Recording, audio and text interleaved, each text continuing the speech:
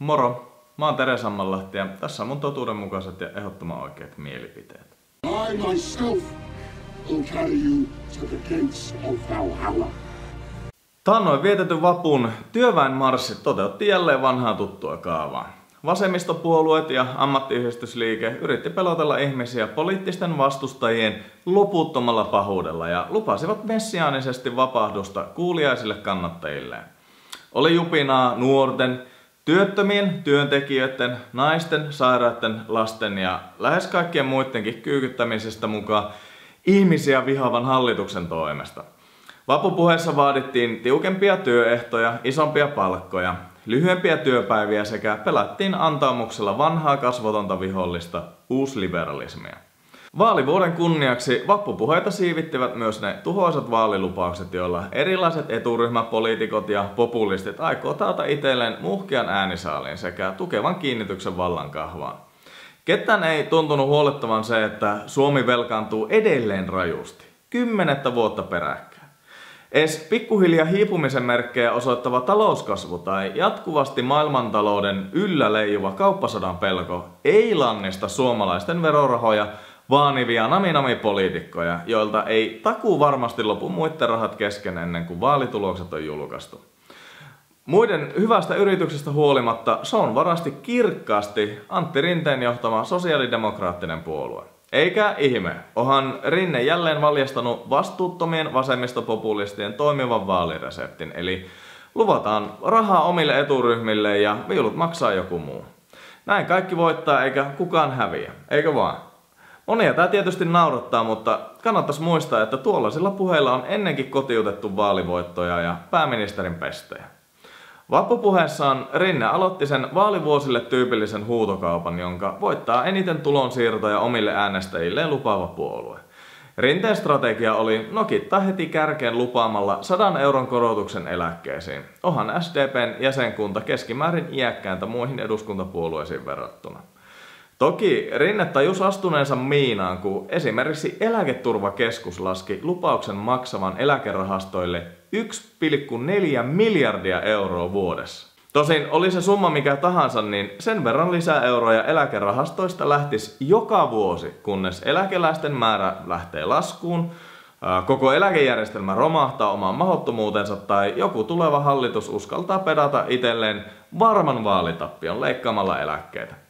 Kuin kirsikaksi läpimadan kakun päälle, Rinne muisti kertoo, ettei nämä miljardit eurot eläkemaksujen korotuspainetta mukaan rasittaisi nuorten kukkaroita, vaikka eläkemaksujen vääjäämätön korotus tarkoittaa nimenomaan käden työntämistä nuorempien sukupolvien taskuun.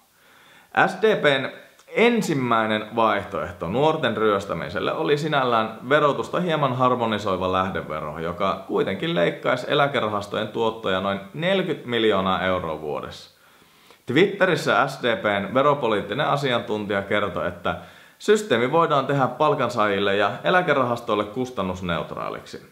Niin varmasti voidaan, mutta silloin hupenee myös lähdeverosta saatava verotuotto.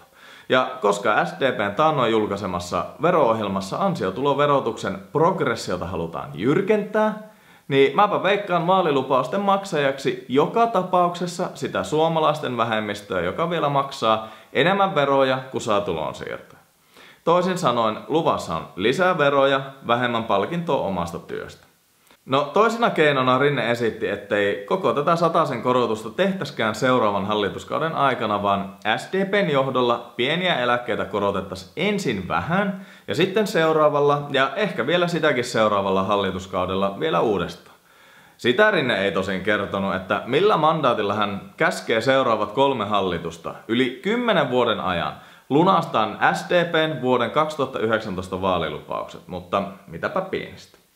Jos SDPn vappupöhnässä annetut lupaukset menee läpi ja pyramidihuijauksen kaltaista eläkejärjestelmäämme tekohengitetään entistä suuremmilla eläkemaksuilla, niin maksajiksi joutuu nimenomaan nuoremmat sukupolvet, jopa vielä syntymättömät sellaiset, joten hyvinvoinnista oppositio on ollut viime vuodet niin kovin kovin huolissaan.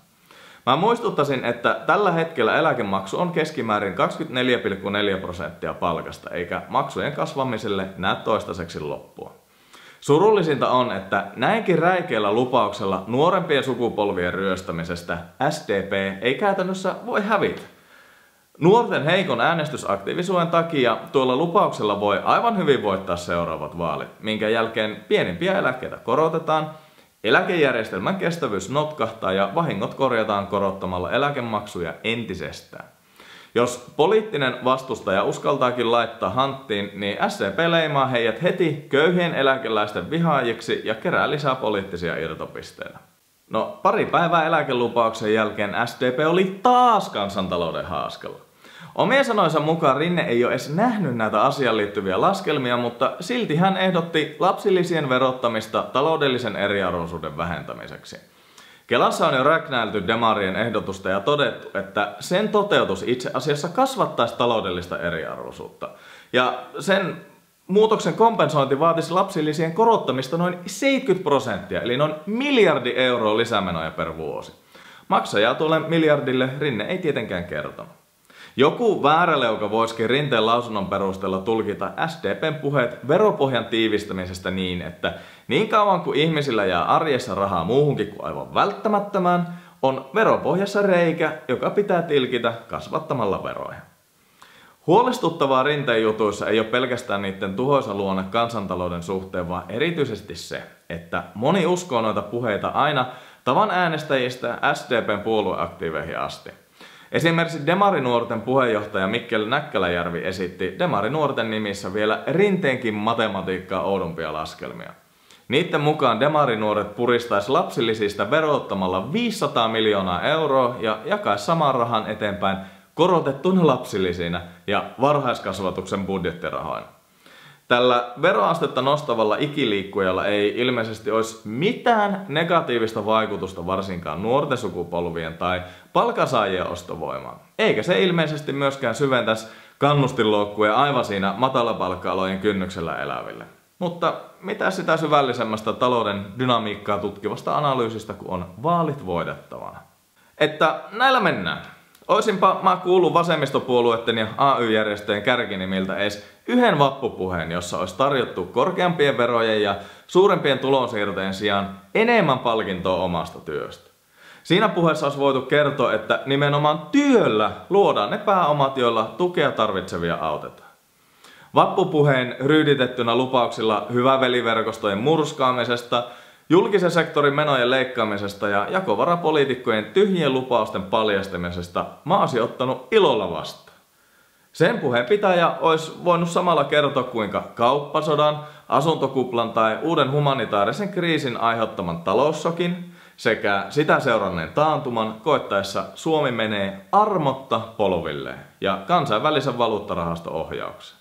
Ja että todennäköisesti mitään ulkopuolista kriisiä ei edes tarvita, koska Suomen kansantalous seisoo joka tapauksessa savijaloilla. Tarpeellisia työmarkkina, sosiaaliturva- ja veroreformeja ei ole saatu aikaiseksi samalla, kun keskellä kiivanta nousukautta Suomi edelleen velkaantuu rajusti. Vaan eipä sovi ottaa realismia vaalivuotena.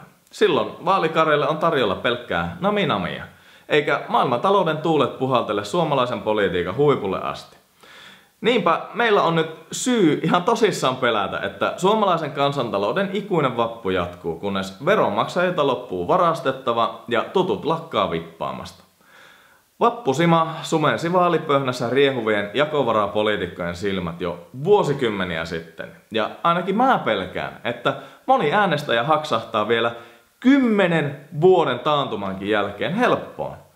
Yhdenkään alle 50-vuotiaan ja erityisesti alle 30 ei ole minkään valtakunnan järkeä äänestää tällaisilla lupauksilla seuraaviin vaaleihin ratsastavia ikuisen vapun puolueita. Muistakaa, silloin kun joku kuulostaa liian hyvältä ollakseen totta, se ei todennäköisesti ole totta.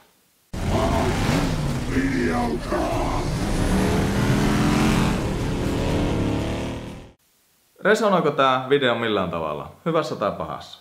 Jos kyllä, niin jätä vaikka viesti tuohon alle tai tuu jatkaa juttelua Facebookissa. Ja jos sun mielestä tässä oli mitään järkeä, niin annathan kavereittenkin kuulla ja muista jakaa video eteenpäin. Ei muuta kuin ensi kertaa. Se on moro.